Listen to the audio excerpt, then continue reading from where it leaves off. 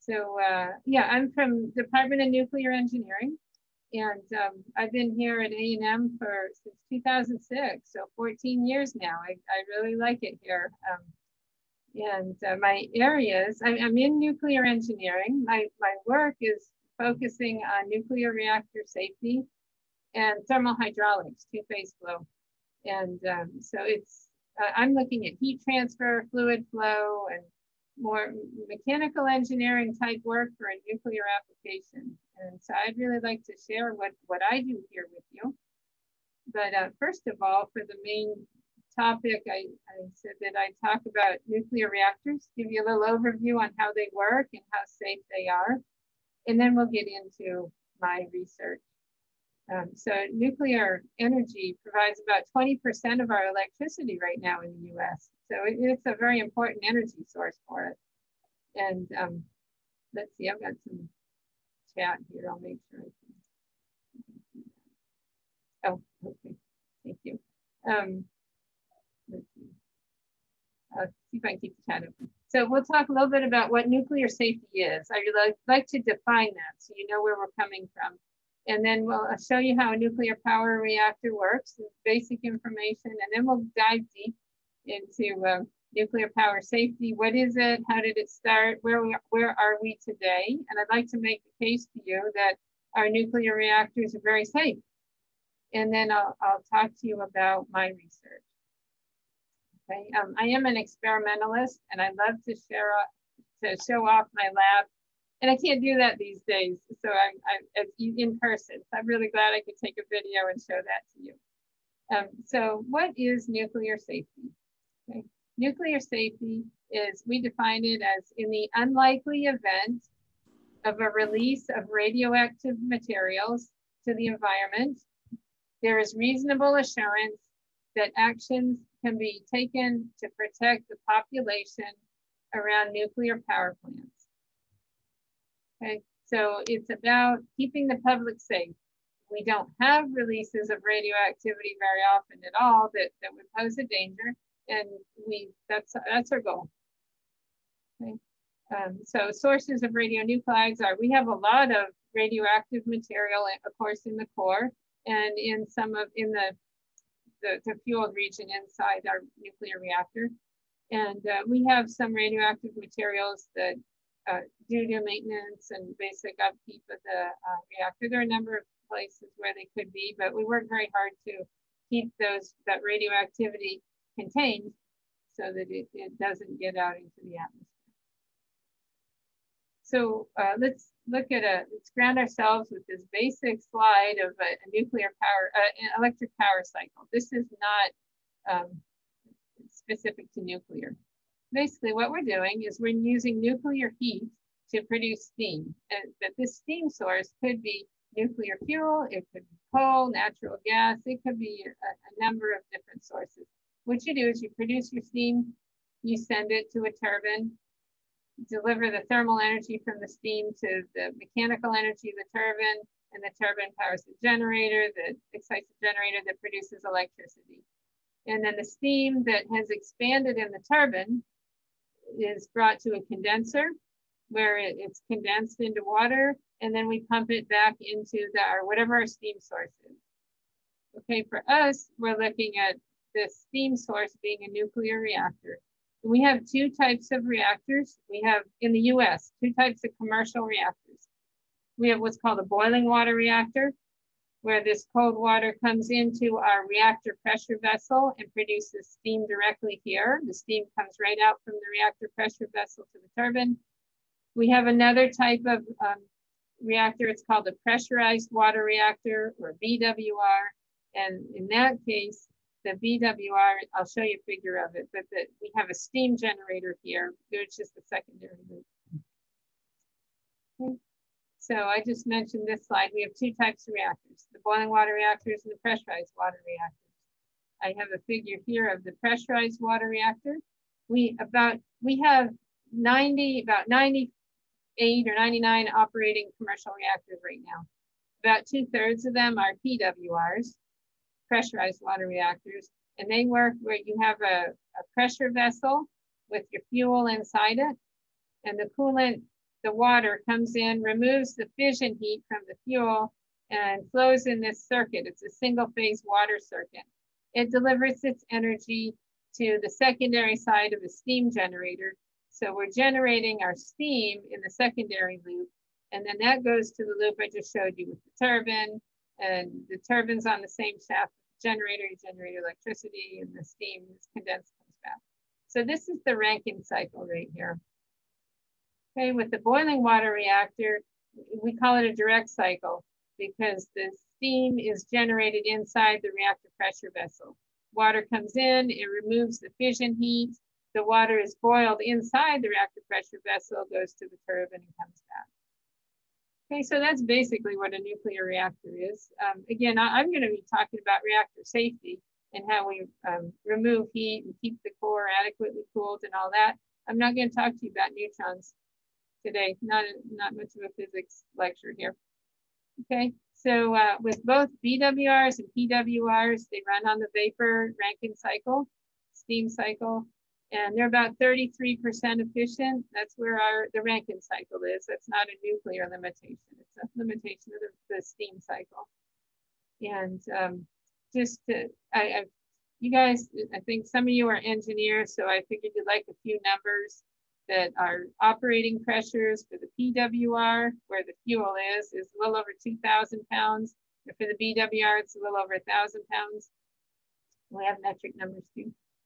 Um, and then the power rating. These reactors produce a lot of power. The PWRs can produce up to 1,300 megawatts electric. That's a large plant. Okay, 1,000 megawatts powers about 1,000 homes. That's a rule of thumb. And the BWRs, are generally over the lar large ones over a thousand megawatts electric. We have the, the newest one is that's uh, design certified is up to 1500 megawatts electric. So these are big machines. We like to keep them up and running at full power and uh, produce electricity. We have two units at Comanche Peak, just southwest of Fort Worth. Those are PWRs. And we have two units in South Texas Project down in Bay City, a little bit, a couple hours southwest of Houston. And those are also PWRs. Okay, they produce a lot of our electricity in Texas. All right, let's look a little bit more what these things look like. In the next couple figures, I'll show you some pictures of what a PWR looks like on the left side and a BWR on the right side. Okay, so pressurized water reactor, boiling water reactor. We're looking here at the pressure vessel. The reactor pressure vessel houses the nuclear fuel. So the nuclear fuel is in the lower part of the reactor. And what happens is the, the coolant, the water coolant, comes in and annulus flows down, flows up, and removes the fission heat, and it flows out. And this is a 2D picture. You could think in 3D. Uh, I wish I had three hours to talk to you right now, but I'm going to go kind of fast here with the boiling water, so this is all single phase water. With the boiling water reactor, you have your reactor pressure vessel that operates about a thousand PSI. Your coolant, your fuel is sitting in the lower part of the vessel.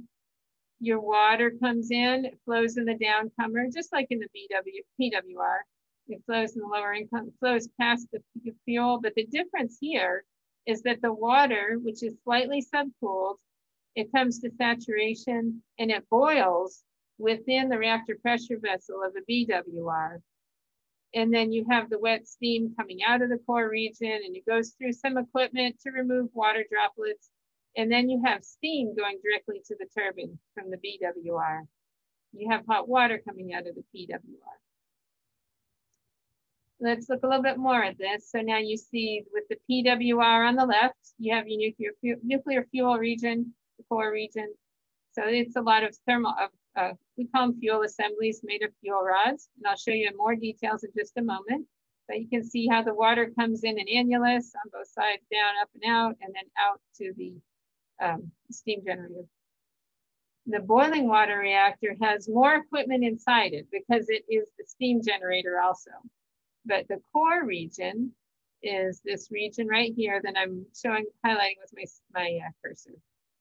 And so the water comes in, flows through the bottom, up through the core, And then through some, all this steam generation, steam generator equipment, the, this equipment removes the droplets, the water droplets from the steam, and then the steam goes up and out. There's a steam outlet nozzle right there. Right, and then looking, I'm looking down on top of the core now. Um, this is the core of a PWR. It's a cross section looking down on top of it. I kind of like this picture because it has some dimensions. So the core has an outer diameter of about 112 inches. That's not that big. It's pretty high power density. Um, and the reactor pressure vessel is this thick hatched region. It's between four and six inches thick of carbon steel because it operates at high pressure. The BWR core is a little bit harder to see. I don't have as good of a picture, but the fuel is in between these little crosses. And I'll show you the next picture is better. Okay, this is here. Now we're getting to the fuel. On the left, the PWR. This is what we call a fuel assembly. This one is a 17 by 17 array of fuel rods. And that's where the nuclear fuel is. It's inside these tubes, these fuel tubes.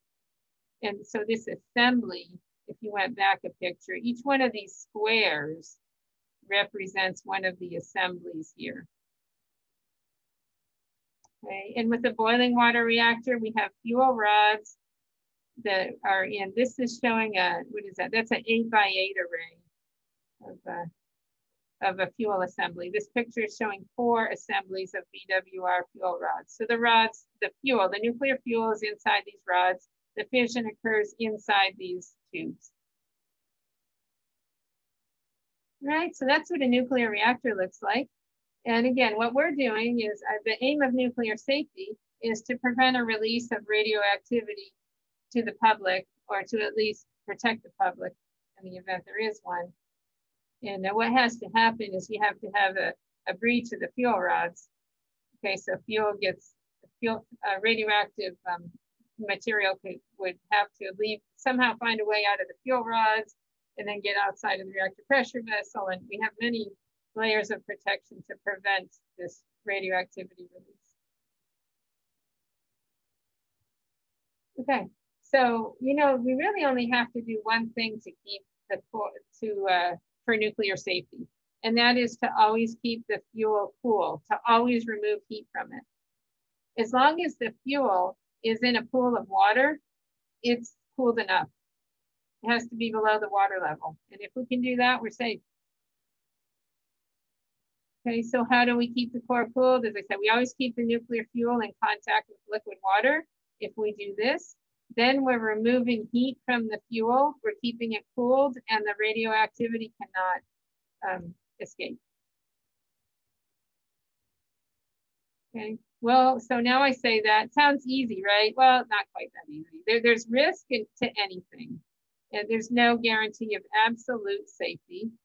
And so uh, we have had a few accidents. We've had three in large commercial reactors, uh, but that's pretty good safety record. That's what I'd like to demonstrate to you.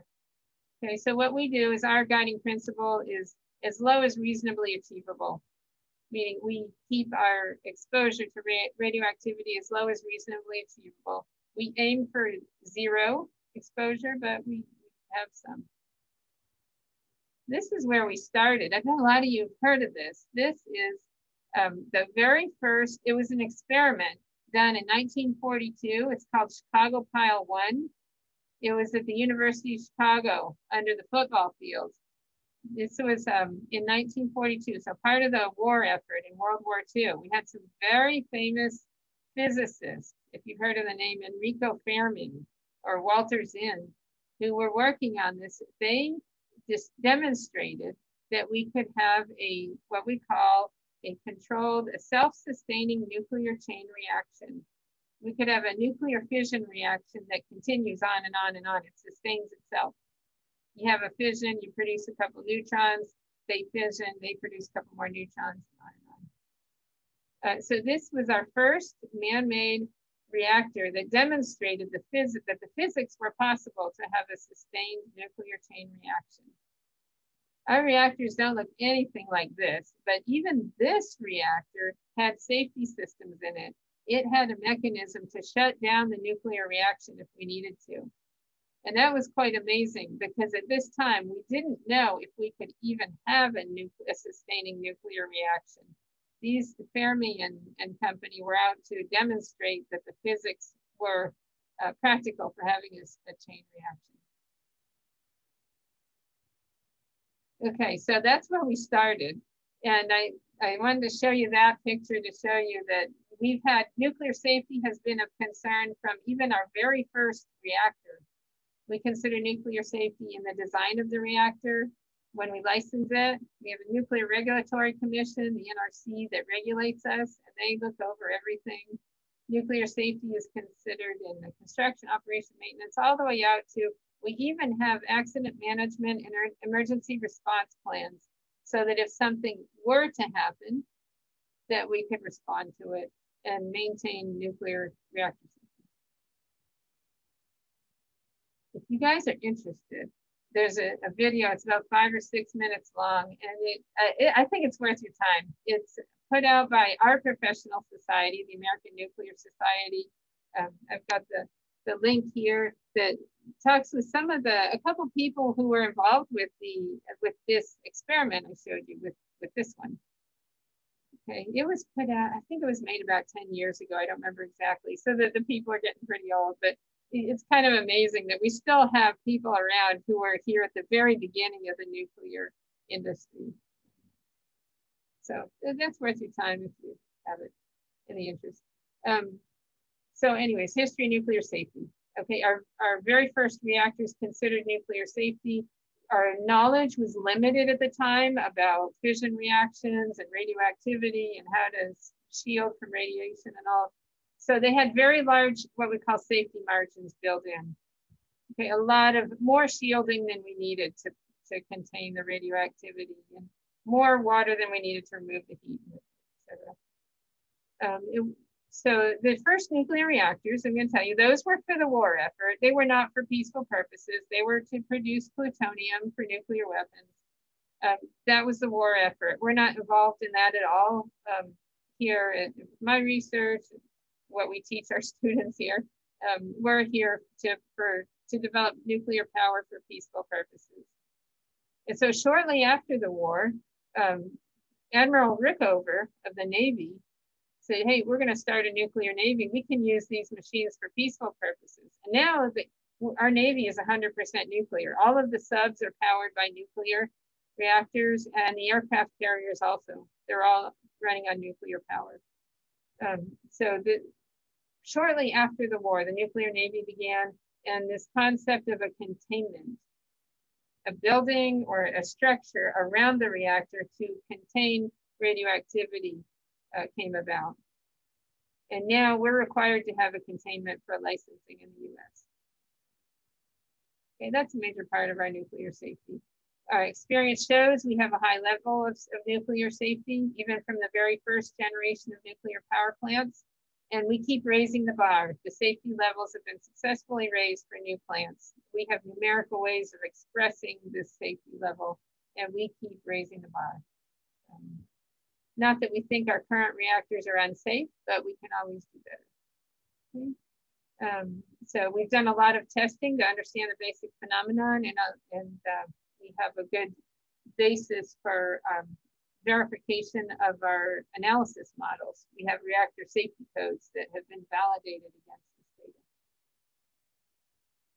data. Okay, so recent improvements to light water reactor safety. Oh, I didn't mention, our reactors are light water reactors. They use the, the regular water that you we deal with every day. There's also heavy water that has deuterium, D2O instead of H2O. We use light water. Um, and uh, so uh, we continue to elevate the level of safety in light water reactors. Um, the recent improvements are incremental because we've already made the bigger, easier improvements. Okay. And um, we're also working on um, non-light water reactors, which are gas-cooled reactors. And we also have, instead of building only large reactors, now we have designs for small modular reactors, which are reactors that have a smaller output. They'd be good for a smaller market than, say, Texas.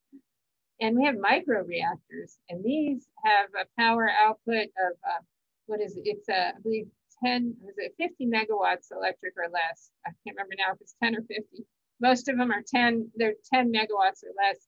And these are gonna be very important for providing independent power supplies, say for a military base that wants to be, needs to be on an independent grid and have a very reliable source of power. So nu nuclear safety is coming into all of these reactors.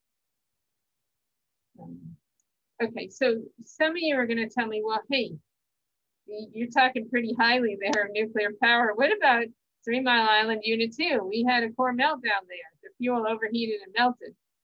Uh, yeah, we did. That was in 1979. And we had Chernobyl.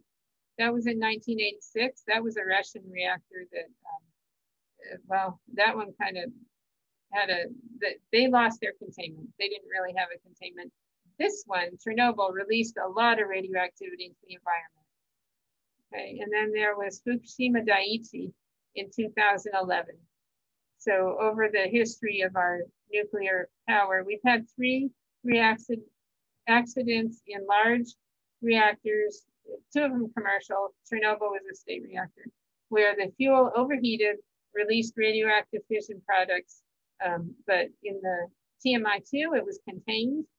In Chernobyl, we released, a lot of radioactivity was released to the public. And in Fukushima Daiichi, there was also a release of radioactivity. So we've had three accidents. I'll tell you the first one has been TMI2, Three Mile Island Unit 2. That was in uh, New York. That, that's the US uh, accident. That one has been designed out of existence. It cannot happen again. They've redesigned equipment that failed and uh, contributed to the accident. We have better operator training. This one Three Mile Island 2 will not be repeated. Chernobyl will not be repeated. That was due to human error. That was due to intentional violation of safety um, requirements. Um, I don't want to, it's hard to point fingers at anybody. Some, I think a lot of people didn't know what they were doing. They didn't understand the physics of the reactor and what could happen as a consequence of their actions. So this second one was, uh, that's not repeatable because we have better um, number of reasons, better operator training, better oversight, and better international cooperation so that we don't have, the, the design itself had some flaws and uh, we don't have that, those flaws in our, in any reactor in the world is operating. And then Fukushima Daiichi, wow, that one we're looking at right now, that was caused by uh, tsunamis and earthquakes, earthquakes followed by tsunamis. Um, and that one we're looking at, um, we know why it happens and we're responding in all of our current operating reactors so something similar couldn't happen. Okay, so we have had three accidents, but it's an excellent safety record and uh, these accidents are not gonna happen again. Um, okay, so remember the definition of nuclear safety? Let's see, about halfway through. Okay, that we're protecting the public's health against a release in uh, unlikely event of uh, release of radioactivity. Talk to you about how reactors are safe. In addition to designing and regulating and operating our reactors in a safe way, we also have what we call safety culture implemented into the industry and all aspects of the nuclear sector. Okay, and um, so nu nuclear, uh, sorry, safety culture is a way of thinking Okay, it's a way of um, acting always in the safe manner. If you see something question uh, about the plant that might warrant a safety, it causes you to question the safety, you question it, you do raise the issue. So it's a way of thinking and it's um, involved in all the way from the managers down to the, the people who are actually operating the equipment. Safety culture. Okay, and we also recognize there is risk in nuclear power. Okay, there's risk in everything. And what is risk? Risk is the frequency of something happening times its consequences. Okay, and um, I could go on and on about risk too. We have a lot of really interesting risk courses in the university. If you're as engineers interested in taking them, I think I recommend some of those. But uh, so the question is, how safe is safe enough? Okay, we we have I believe we have a very high level of safety in our reactors, and that's measured by the frequency of core damage, core overheating, and it's also measured by release of radioactivity. Uh, but uh, you can't get to having no risk. And so how far do we, how safe do we have to make our reactors? That's a big question. How safe is safe enough? I have a very good paper back from 2001, but it still stands, talks about how safe is safe enough. And so we were always trying to make our reactors more safe, make reduce the amount of radioactivity that anybody could possibly be exposed to. But if you want to do some reading on that, there's a really, uh, I, I really like the paper, NRC Evolution of Safety Goals, and he talked, yeah, this Dr. Meserve talks about how safe is safe enough. We're getting close to zero. We'll never get to zero risk, but I think we're doing pretty good. And we have some ways of dealing with risk. I'm going to go to a chart here. What we do is we design our reactors so that we, we hypothesize these events that could happen.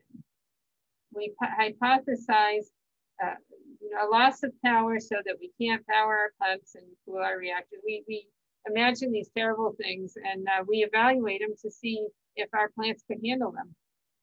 This curve shows our concept of risk. So we hypothesize these events, the consequence, um, I'm sorry, the probability of them happening or the frequency. The units here are per year, per reactor year of operation. So 10 to the minus two means something would happen once every 100 years of reactor operation. 10 to the six, once every million years of reactor operation. And we take these events that we hypothesize and we evaluate the consequence. Well, what happens, forget the probability, say it does happen, what's the consequence? And we, we um, quantify the consequences. It can be in terms of radioactivity release or some other uh, financial, some other consequence. And what we do is we develop these risk curves. We multiply the frequency times the consequence in which you, and then you define how much risk you're willing to accept. What you want are events that are of low consequence, so to the left of this curve, and low probability. Okay, if it's if the events are low consequence, low probability, you're below whatever you set your risk curve as. What you don't want is a high probability, high consequence event. Okay, so we designed, we identified the events that would have a high enough consequence or high enough probability to get above our risk curve, to be to the upper right here. And we design those out of our system, so we're back down in, with an acceptable level of risk. I'll give you an example of what we're doing. We're looking at new fuels, and it's we're expecting this is a new fuel. It's going to be in our reactors pretty soon. It's called accident tolerant fuel. And this comes out of, uh, it was inspired a lot by the Fukushima accidents in 2011. If we can redesign our fuel so that it cannot fail, it cannot release radioactivity, well then a nuclear accident is not such a big deal anymore. It's just like a, a, a typical industrial accident if there's no radioactivity involved. So what we're doing is we're redesigning our fuel so that it has a higher, uh, for you mechanical engineers and nuclear engineers, it has a higher thermal conductivity, then it does, it can pass the heat out, the fission heat out without heating up as much. And we're also we're making other changes to the fuel, such as um, having it more structurally stable at high temperatures and some other um, features to it. Uh, so we're, we've already got some of this test fuel, the accident tolerant fuel. We've already got some of it in current operating reactors and we're testing it out. And we're hoping to have a full core loading. We're hoping to have the first core of a nuclear core of a reactor with accident tolerant fuel in about five, six years from now. Okay, so that's one, even though our, we think our reactors are pretty safe, but we think we can always do better. So accident tolerant fuel is a big move for us right now. And um, we're also moving to new reactor designs. We're designing some reactors that are cooled by other materials, such as a high temperature gas, hydro, uh, helium. We're, we're designing helium reactors. They can get up to higher temperatures. And what's really nice about that is they can provide the heat for high temperature chemical reactions, such as hydrogen production. And we also have uh, other coolants we're looking at, molten salt reactors, molten fluorides. Uh, I told you we're already looking at smaller reactors, small modular reactors and micro reactors for military bases or smaller applications. And uh, these are all, all these new reactors have even higher safety bars than our current reactors.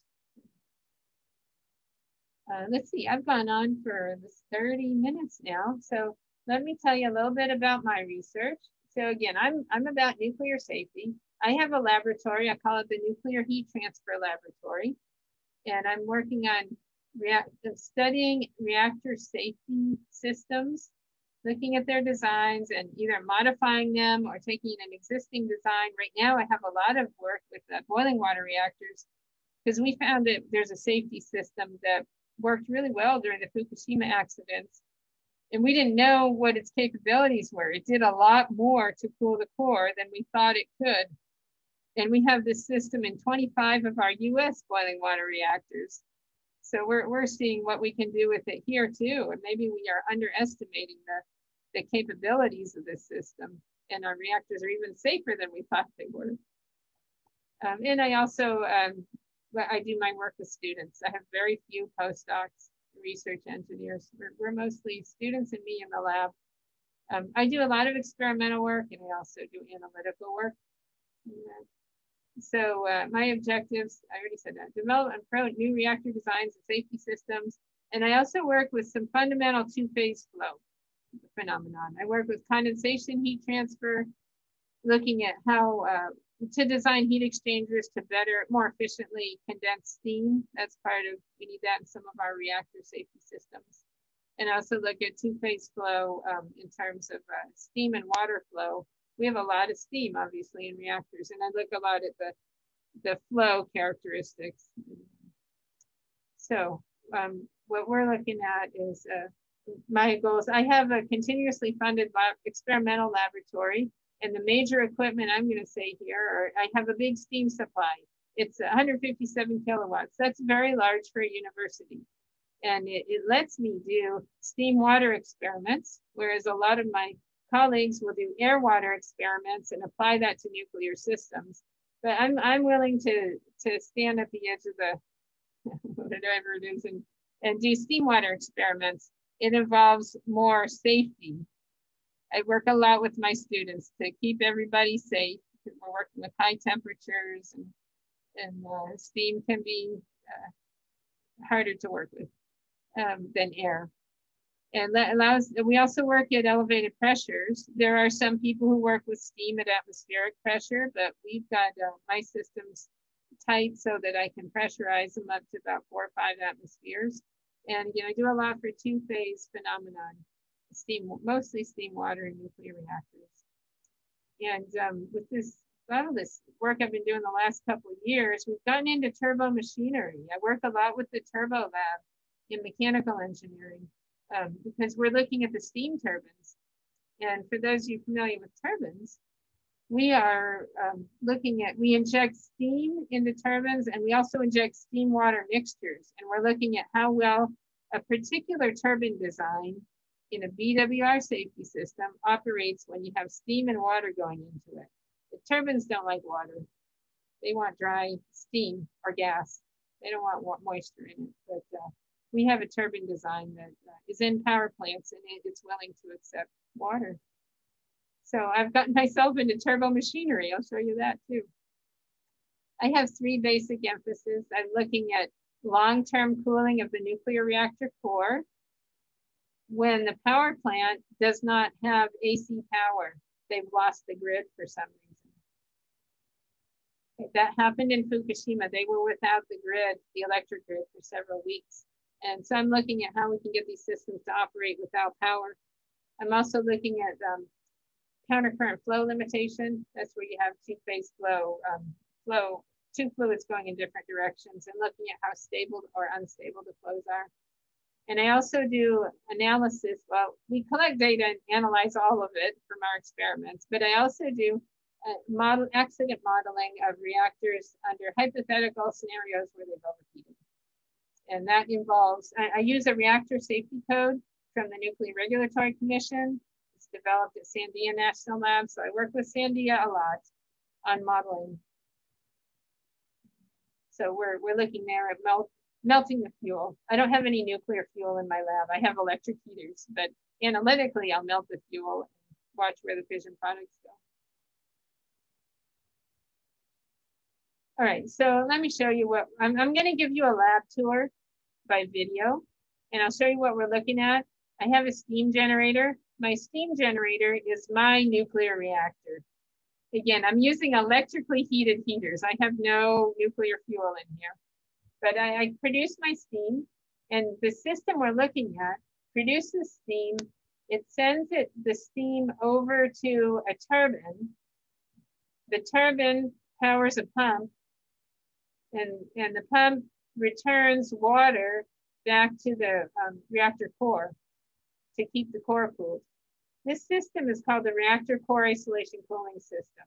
The, we call it the RCIC system. And the RCIC operates when you've, um, you've shut off the fission reaction. So you're not, you're looking at decay heat. You're not looking at fission heat anymore. But decay heat is still on the order of megawatts.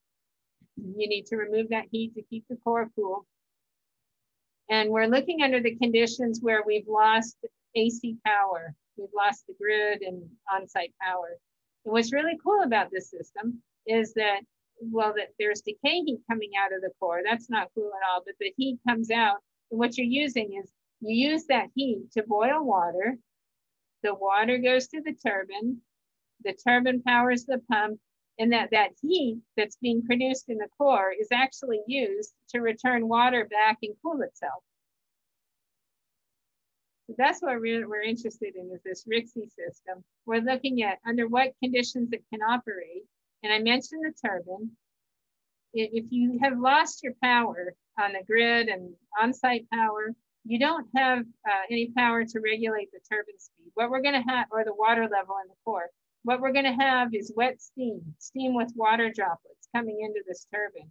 So it's a steam water mixture coming into the turbine. And that's one of my main emphases is looking at that. So let me show you a video of my lab. Okay.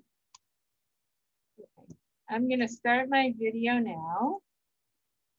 All right, so I have just a, a few more slides and to show you, so uh, get all this data. I mean, we'd love to do experiments, but we also want to use our data. So uh, we've got some turbine experiments that are um, with the turbine. What do we get out of the turbine? I'll show you, for example, we measure the, the turbine speed, the rate at which the shaft turns. And that, that's our turbine rotational speed. And we plot the torque against that. And what we've done is we've, we've gotten some data at a number of different pressures. And here now I'm in metric units. And the, what I'm showing you here is air water data that's been published. We did air water, injected air water mixtures into that turbine that I, the Terry turbine I showed you in the video and plotted these data. And um, so you see the family of curves. Each curve is for a different pressure. And then um, and then we wanted to look at the, uh, to evaluate these data in a more convenient form. And so we, um, we used the turbine, they're called turbine affinity laws. They're, they're basic laws that describe how the turbine works. Okay, and you, you get a dimensionless parameter that looks at the flow rate, you get a dimensionless parameter that looks at the turbine output power. So torque is what we measure. And what we did then was we, we were looking at two phase data we modified these affinity laws to account for having water in our gas flow. Excuse me. And um, so we um, we use these modified parameters. Sorry, there's the the output. Um, let's see. There's a head coefficient. We're looking at these dimensionless phi and psi. Um, what we did was we plotted these data, the flow coefficient and the power output our power output coefficient on the y-axis for different two-phase uh, mixtures. And I've got the, the legend up here, the, um, M sub A is the air mass fraction. 1.0 is all air. 0.05 is the quality, 0.05 quality of air in a air water mixture. And we, uh, we're able to um, have these two phase curves collapse into a single curve if we used a, a correction to account for the two phase flow.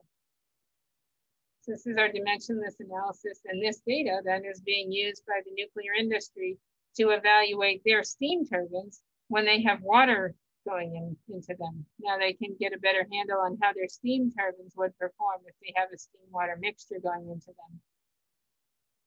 And I told you, I'm also doing a lot on turbo machinery. And uh, here's a, an example of the larger turbine I have. I, in the video, I showed you a smaller turbine. This turbine that I'm showing you here in this picture is on loan to us from a nuclear power plant.